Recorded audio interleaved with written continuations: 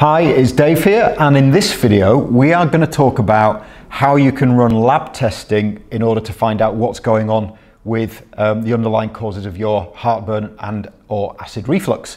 And so there's a couple of different categories that I wanted to cover, loosely divided into um, medical testing that the doctor would need to run or a gastro specialist, and then the testing that you can actually run yourself without leaving the comfort of your own home. Now, just a quick, uh, again, disclaimer before I start with this one.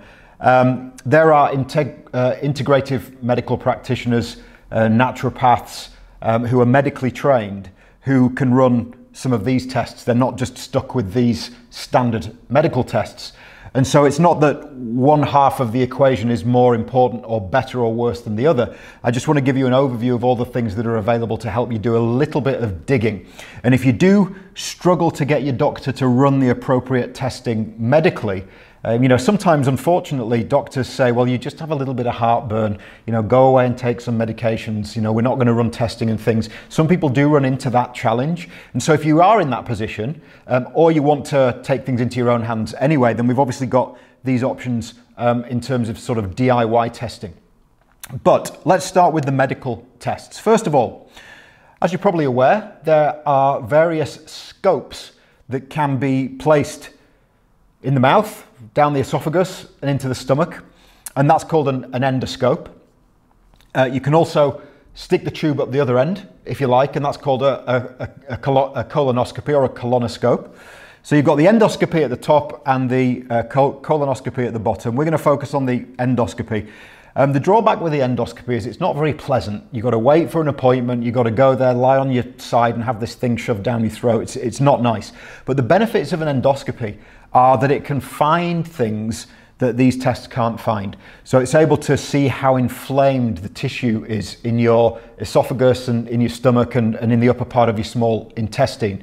It's able to find structural um, issues like uh, ulcers, for example um, damage to the stomach tissue and what have you.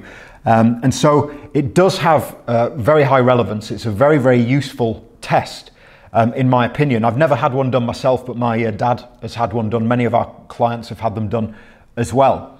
Sometimes what they'll also do is they will take a biopsy of the tissue. If they find a bunch of red, inflamed, damaged tissue, they'll do a biopsy and, and then analyze that to see what's going on, whether there are H. pylori, bacteria in there, etc. And then, of course, one of the things that's not particularly nice to talk about, they can identify things like stomach cancer and what have you, and esophageal cancer um, with the help of endoscopies as well. So the endoscopy is very, very useful. Uh, one of the other drawbacks, apart from it being quite inconvenient and, and unpleasant to have, is that um, it doesn't look for half of the stuff that this set of tests looks for. It doesn't look for SIBO, it doesn't look for really for candida, they don't consider parasites and uh, food intolerances and things. And so even if they find some inflamed tissue in the stomach, for example, there's no indication of why that's happening. And the reason may be something um, on this side. Um, the Heidelberg capsule test is a second test I want to talk about.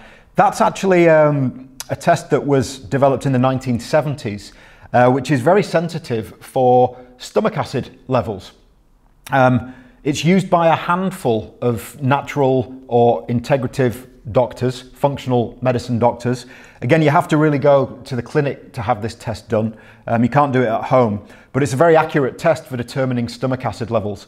Uh, my opinion, and I know this is difficult for various reasons within the medical system, is that everybody who has heartburn and acid reflux for an extended period of time should be having this test run. Unfortunately, the bog standard approach is not to test, it's just to assume that the stomach acid level is too high and give the uh, appropriate medications to bring the stomach acid level down. And so I think this test would be very helpful if it were more widespread. You might be able to find somebody in your area who runs this test if you're interested in finding out whether your stomach acid level is too high or too low. As I've said before, in many of the uh, heartburn and acid reflux cases we've worked with, the stomach acid level's actually been too low. Um, and so this is a useful test for differentiating the, the high and the low there. And then, of course, H. pylori. The medical system recognizes H. pylori very well. It, they know that H. pylori causes problems. They know it causes heartburn, is associated with acid reflux, it causes ulcers, and it's associated with stomach cancer. So they'll quite readily test for H. pylori in many cases. But I think it's worth noting now, and, especially in regard to the testing that, that we use as well, there isn't a perfect H. pylori test, right? Sometimes you can have a false negative. And so just because you have one test done and it shows negative for H. pylori, it's not guaranteed that the H. pylori is not there. Sometimes it can actually be useful to have uh, a second test.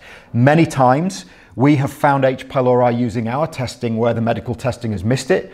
And sometimes we have missed it with our testing and the medical testing has found it. And so I just want to make sure that you bring all the lab testing down off a pedestal and, and don't assume that it's 100% perfect because there isn't a 100% perfect test uh, in this uh, or in, on this whiteboard at the moment, unfortunately. Now, of course, um, H. pylori can be tested at home. That's how I found that I had H. pylori using a, a, stool test. And I didn't just look for H. pylori, I actually ran a comprehensive stool test that looked for many, many different things. And that test was quite old fashioned. There are even more advanced tests available now. Uh, the ones that we use um, uh, in our practice typically look for uh, more than 70 different uh, factors or uh, imbalances in the digestive system, ranging, ranging from uh, H. pylori, of course, um, uh, to uh, parasites, to yeast and fungal overgrowth, to uh, inflammatory levels, immune system markers, uh, friendly bacteria levels, and so on and so forth. So there's a whole bunch of stuff that you can look at using um, these advanced home stool tests now. Now, the comprehensive stool test will also look at opportunistic bacteria levels. And opportunistic bacteria levels, certain types, when they're high on the stool test, can actually give you an idea about whether somebody has SIBO or not. And SIBO can cause fermentation, bloating, buildup of gas, increase the pressure in the abdomen, push everything upwards and cause heartburn and acid reflux. So SIBO is worthy is a, is a worthy topic of investigation um, if you're not getting anywhere with your heartburn and reflux symptoms. So the stool test finds that there's an overgrowth of bacteria, but because it's not location specific, you're just looking at what's coming out in the stool. You don't know whether those high levels of, of bacteria uh, are growing in the colon or in the small intestine. So in order to differentiate whether you have SIBO or not, unfortunately you have to run something called a breath test. Uh, this one that I've listed here is called a lactulose breath test. Lactulose is a specific type of sugar. You drink uh, the sugar in, in some liquid and then it goes through your digestive system. Um, you take breath samples every 20 minutes and they map out the production of methane and hydrogen in your breath over an extended period of time, usually three hours, and the pattern of those gases in your breath can determine whether you have SIBO. Okay? So that's, that's another very useful test. Now, just to make sure that we're not imbalancing the argument, SIBO testing can also be done by the doctors. Some of the gastroenterologists and specialists run SIBO breath testing as well. It's not uh, exclusive just to kind of naturally orientated practitioners. Then you have organic acids, Organic acids is a urine test, and there's some very useful markers in the urine that kind of are chemical footprints of overgrowth of different microbes in the digestive system. And so sometimes this can be useful, particularly when it comes to identifying yeast fungal overgrowth and things like mold overgrowth as well, which can in some cases contribute to heartburn. So we've got H. pylori test at home, we've got comprehensive stool testing, we've got the organic acids, we've got the breath testing, and finally we have food sensitivity testing. So these are um, far too complex for me to explain in this video. Just know that you can do these at home. You, you, there are some versions of food sensitivity tests where you need to go and have a full blood draw. Um, but there are some in which you can use just a finger prick blood sample and they'll identify whether you have certain types of sensitivity to different foods. And in some cases, again, we find people's digestive symptoms settle down when we identify which foods they have problems with and then they eliminate those foods from their uh, daily diet. So a broad overview of the different tests you can run. My recommendation is that obviously for, for cost implications, um, start with the simple stuff that you can get from your doctor. But if you're not getting anywhere with the doctor, if there's a massive waiting list or the doctor just, just wants to prescribe medications, you can do all of this at home. It's all available.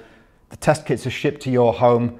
You provide the sample, you send it off. Usually within a couple of weeks, maybe three weeks, the results come back. You get a copy of the results, and then we can help you through understanding what they mean, and then and then help you uh, understand how to progress, what to do, specific action steps in order to uh, overcome whatever is found in the testing.